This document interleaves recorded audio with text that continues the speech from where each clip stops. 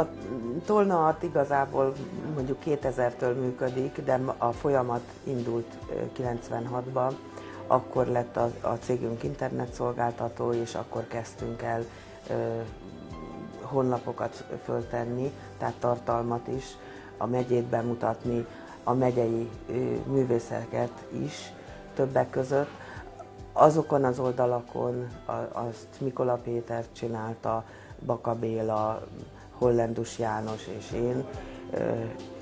Kevés információ került föl a, a művészekről egy-egy alkotással, és ezt éreztem én kevésnek, és hát olyan két évnyi vajudás után végül is Hollendus Jánossal társulva létrehoztuk a Tolna Art internetes oldalakat. Ez, ezen az oldalon a, a megyében élő képző nép és iparművészeket próbáljuk bemutatni. Itt már jóval bővebb anyaggal, tehát van egy bemutatkozó szöveg, van egy fotó az alkotóról. Honnan ez a nagy művészetpártolás, a művészet iránti szeretet?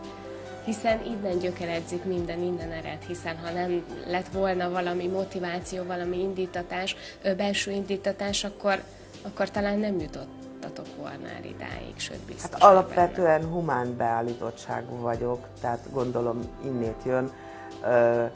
Nagy valószínűséggel sokat jelentett az, hogy, hogy Molnár M. György festőművész volt a rajztanárom általános iskolába, Igaz, hogy rajzolni nem tudott megtanítani, de biztos, hogy, hogy valamit belém oltott és, és megmaradt. Én azt hiszem, hogy, hogy a művészetekkel egy kicsit a napi gondokon felül lehet emelkedni.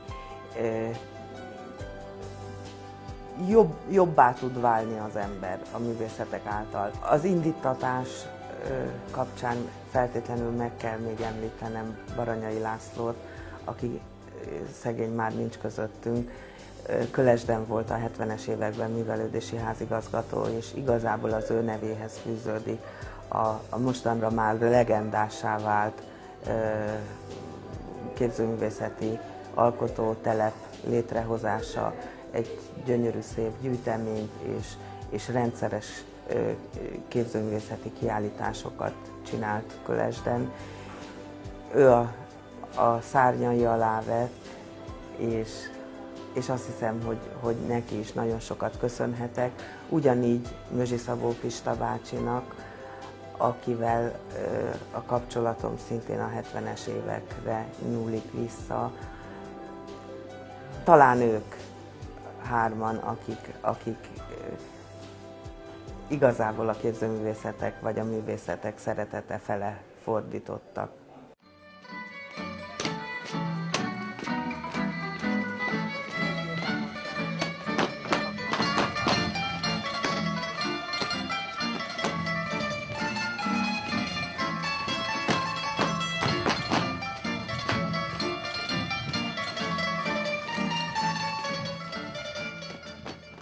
Egy különleges kerti tárlat egyike ez a szobor, amit Szatmári Juhos László adományozott a művész találkozón Rő Gizellának, tisztelete, no meg köszönetéjel él. Egy csoda ez a nő, ilyen nőt szaporítani kéne még az országba, legalább százat.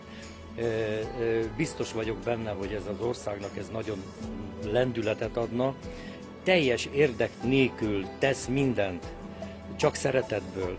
És ez olyan, olyan gyönyörűség, hogy én azt mondtam, hogy az idén ajándékozok neki egy szobrot, nem tudom megállni, hogy ne adjak neki egy szobrot az udvarára, legyen neki egy szobra tőlem.